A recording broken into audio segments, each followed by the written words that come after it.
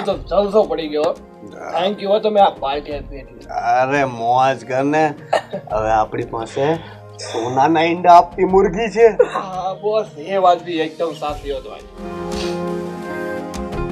પાણી. પાણી. પાણી. પાણી આપો ને. કોઈ છે અહીંયા? Boss boss. ઓલી પાણી માંગતી હોય એવું લાગે છે. હાલે પાઈ દે એને બે કુટલા. બોસ એને દારૂ પાવો છે? હા તો? એની માં પાણી રેડવા આવે છે. જા પીવડાઈ દે ને બે કુટલા. એને પીવડાવ. પાવ છું મને તો પી લેવા દો પેલા.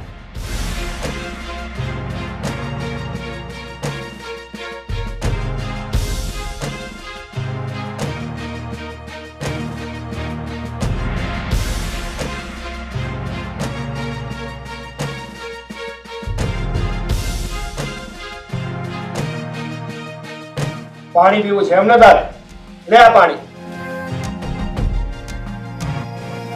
એને પી લીધું? હવે સાંજ સુધી પાણીનો માંગતી ક્યારોની પાણી પાણી પાણી કરતી છે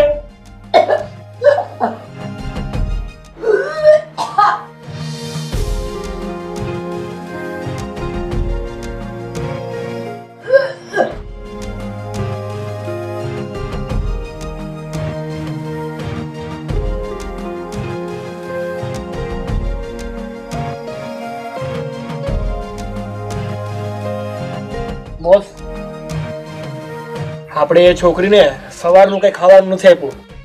એને કંઈક તો ખાવાનું આપવું જોઈએ નકરી મરી જાય. ખાવા. ખાવાનું એને બે દિવસે એકવાર જ આપવાનું છે. આપણે એના માટે અહીં કઈ સદાવ્રત નથી ખોલ્યું હા? બસ એવું ન કરાય. સુખી ઘરની છોકરી છે. એ ભૂખ નહીં સહન કરી શકે. તારી માસીની દીકરી બેન થાય છે? તેનું ઉપરાણું લે છે? હે? તને કીધું ને કે બે દિવસે એકવાર જ ખાવાનું આપવાનું. સમજણ નથી પડતી? ઠીક છે બોસ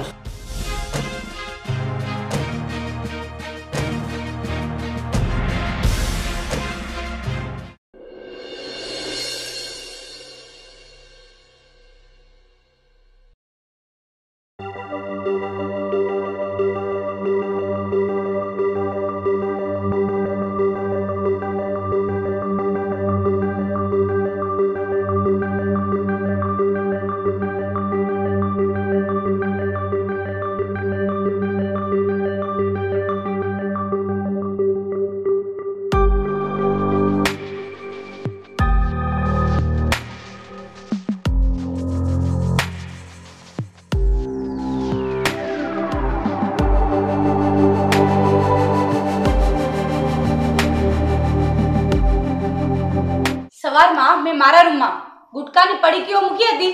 એ ક્યાં છે? આ રહી મારી પાસે. તું મને એક વાતનો જવાબ આપીશ કે તું આવા વ્યસનના રવાડે ક્યારથી ચડી ગઈ છે?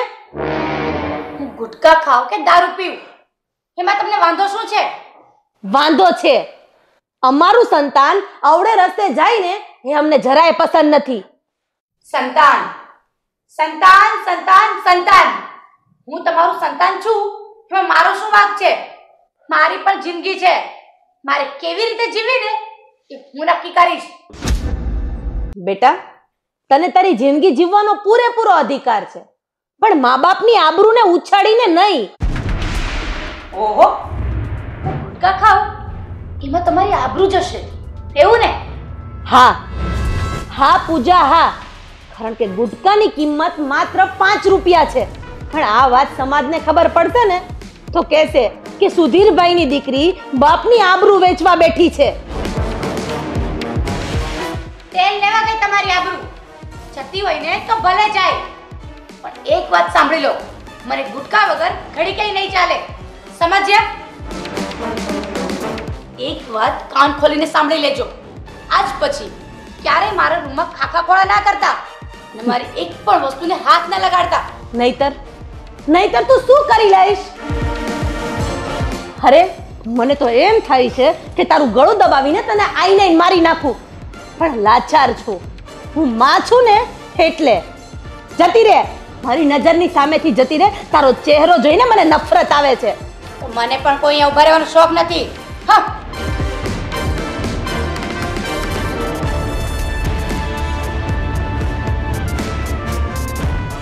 જો રાધા તું દુઃખ ના લગાડ. આ આપણી દીકરી પૂજા નથી બદલાઈ પણ આપણા નસીબ બદલાઈ ગયા છે.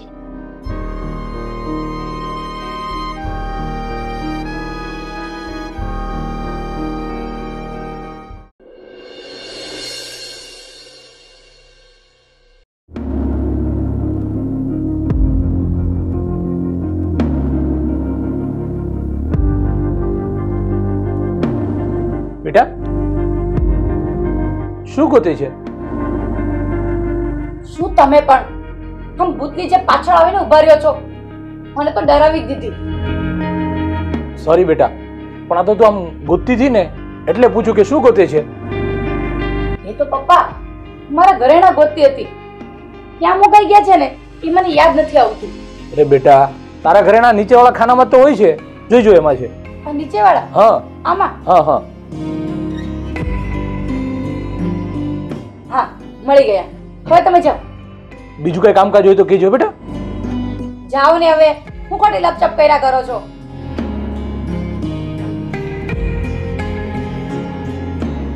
જાઓ હવે.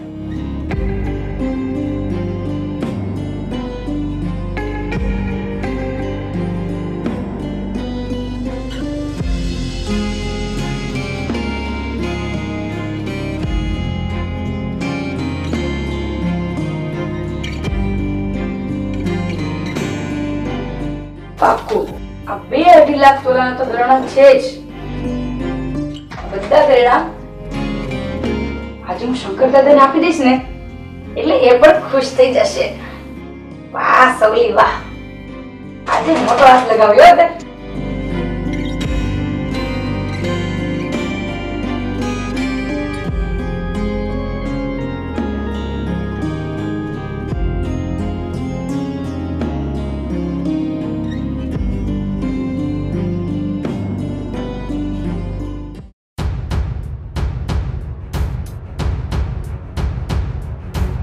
બેટા પૂજા. ક્યાંય પ્રસંગમાં જાય છે દીકરા? કેમ એવું પૂછો છો? અરે આ તો તું ઘરેણા ગોતતી હતી ને અંદર. એટલા માટે પૂછ્યું મિસ્ટર હું પ્રસંગમાં જાઉં કે મહાણમાં જાઉં? એની પંચાયત તમારે કરવાની જરૂર નથી. તમે તમારા કામમાં ધ્યાન આપો ને.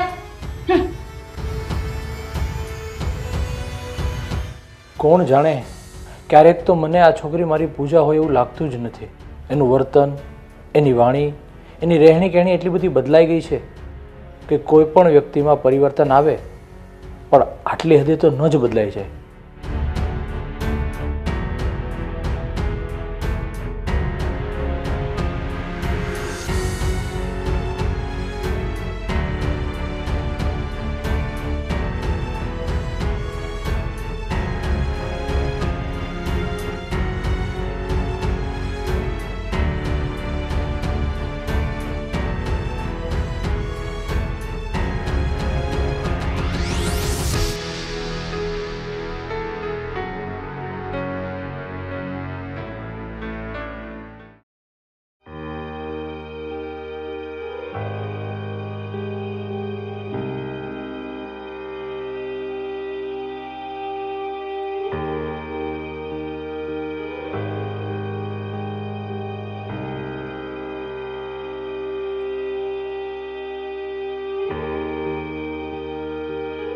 કેમ તમે કંઈ બોલતા નથી?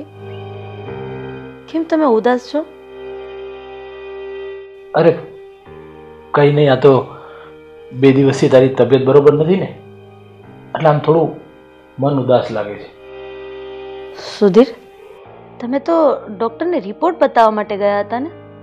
શું કીધું ડૉક્ટરે? અરે કંઈ નહીં ઓ માનસિક ટેન્શનને લીધે તારું બીપી થોડું હાઈ થઈ ગયું હતું. બાકી બીજું કંઈ ગભરાવા જેવું કંઈ નથી. અને રાધા, હું તને હાથ જોડીને વિનંતી કરું છું, તું ખોટું ટેન્શન નહીં લે. અને ઘરમાં જે થાય છે ને, એ બધું થવા દે.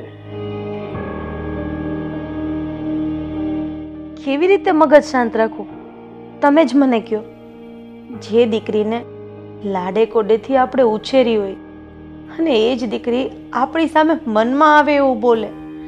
અરે, જે દીકરીને આપણે સંસ્કારી અને ડાઈ સમજતા હતા એ જ દીકરી સાવ નફટ અને નાલાયક નીકળી.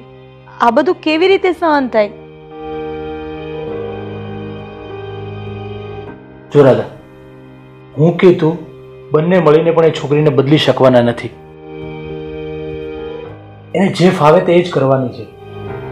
તો પછી આપણે એના બદલામાં દુઃખી થવાનો કોઈ અર્થ જ નથી રહેતો. અરે પૂજા મન ફાવે એમ કરે ને એનાથી મને કોઈ તકલીફ નથી. પણ એ આપણી સાથે પારકા જેવું વર્તન કરે છે. વાતે વાતે આપણું અપમાન કરી નાખે છે. સુધીર આનાથી મારું મારું કાળજું કપાઈ જાય છે. જો રાધા તું વધારે ચિંતા નહીં કર. એક તો તારી તબિયત ખરાબ છે અને પાછી વધારે ખરાબ થઈને ઊભી રહેશે ભલે ને બગડે. આવા દિવસો જોવા ને એની કરતાં તો મરી જવું વધારે સારું.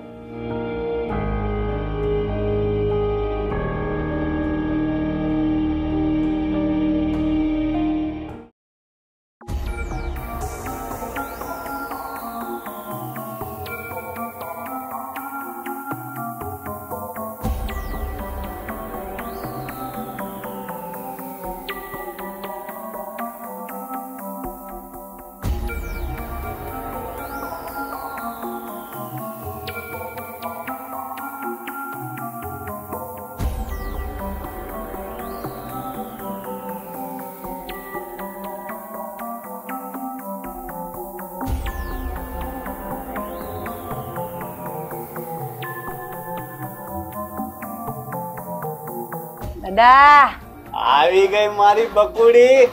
આવ આવ. એ દાદા આજે તો પૂરેપૂરો માલ કાપી લાવી છું. લાવ લાવ જલ્દી બતાવો આજે કેટલો માલ લાવી છે. ખોલીને જો.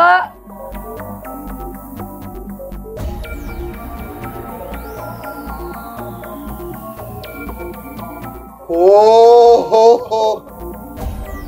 અરે સૌલી તે તો કમાલ કરી નાખી. બહુ મોટો હાથ મારી લીધો તે તો. હા બોસ હા. કમસે કમ અઢી ત્રણ લાખ ના ઘરેણા હશે. પૂરા સાડા ત્રણ લાખ ના ઘરેણા છે. દાદા હું તો કઉ છું કે આ ઘરેણાને કાલે જ કાલે જ રવાના કરીને બધા પૈસા ઘડાવી લ્યો. હા બોસ હા. સૌલી સાચું કહે છે. અને આમ પણ ચોરીના ઘરેણા બહુ રખાય નહીં. આજે ને આજે વેચી નાખો એટલે પૈસા છૂટા થઈ જાય. અને હા દાદા આના જેટલા પણ રૂપિયા આવે ને એ મને સાચે સાચા કહેજો. મારથી કઈ સંતાડતા નહીં. નહીતર પછી તમને ખબર છે ને આ સવલી કોઈનું રાખતી નથી. અરે સૌલી કેવી વાત કરે છે? તને મારા પર ભરોસો નથી હે? મારા પર વિશ્વાસ રાખ તું ચિંતા ન કર. તારો ત્રીજો ભાગ તને મળી જશે. સારું દાદા વાંધો નહીં. અને હા પેલી શેઠની છોકરી છે ને એને બરાબર હાચવજો હં? બહુ મારતા બારતા નહીં. એની તું જરાય ચિંતા ન કર. એને તો છે ને અમે મહેમાનની જેમ સાચવી છે કાશીવા હા સૌલી એને તો અમે એના ઘરની જેમ સાચવીએ છીએ. એને જરાય તકલીફ નથી પડવા દેતા. તમારે તું ટેન્શન ન લેતી. તો વાંધો નહીં. હાલો હવે હું જાઉં છું. બે દિવસ પછી પાછી આવીશ. અને મારો ભાગ સમજી લેજો. મળી જશે. અને સાંભળ, ઊભી રે. હવે બીજી વાર છે ને, આ ઘરેણા બરેણા ન લાવતી. આ બધું વેચવા જવામાં બહુ તકલીફ પડે. ચોરીનો માલ છે ને, અને પોલીસનું દબાણ એ બહુ છે.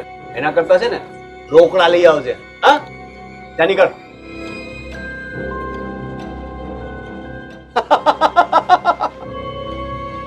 શિવા લોટરી લાગી ગઈ લોટરી આપણને. હવે તું જો થોડાક સમયમાં છે ને આપણે માલા માલ થઈ જશું. હા બોસ હા. અત્યાર સુધી આપણે નાના નાના હાથ મારતા હતા પણ હવે તો આપણા હાથમાં સોનાના ઈંડા આપતી મુર્ગી હાથ આવી ગઈ છે. પણ માનવું પડે હો આ સૌલીએ કમાલ કરી નાખ્યો છે. હા. તો ખરી કેટલો મોટો હાથ માર્યો છે. ચાલ હવે એ જ નામ પર એક મોટો હાથ રમી નાખીએ. હા બોસ ચાલો.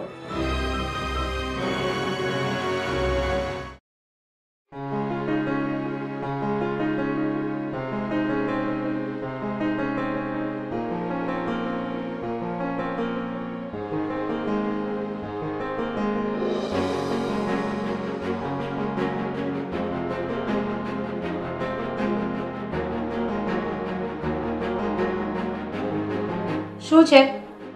હવે શું કામ પાછા આવ્યા છો? અરે બેટા મારે તને એ પૂછવું છે તું ઘરેણા ક્યાં લઈ ગઈ હતી? એ જાણીને તમે શું કરશો? અરે બેટા મારે એટલા માટે પૂછું છું કે તું ઘરેણા તારા ફ્રેન્ડને પહેરવા માટે લઈ ગયેલી? ના એ ઘરેણા જૂના થઈ ગયા હતા ને એટલે ઉકાળે નાખવા માટે લઈ ગઈ હતી. પણ બેટા તું આવી રીતે શું કામ જવાબ આપે છે? એ બધું તમારે પૂછીને શું કામ છે? અને એ ઘરેણા મારા હતા. એનું શું કરું ને? એની જવાબદારી મારી છે.